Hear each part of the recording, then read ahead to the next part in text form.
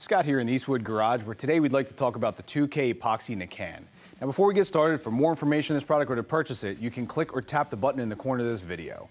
Now why 2K in a spray can, you might ask yourself? Well, if you have a small project, a motorcycle tank, a fender, or maybe just a bumper where you don't want to have a whole lot of epoxy on hand, and you also don't want to have to mix it up and then clean out your spray gun when you're done, this is the way to go. You're going to get an automotive grade product in a spray can where the catalyst is in there and ready to activate when you're ready to paint.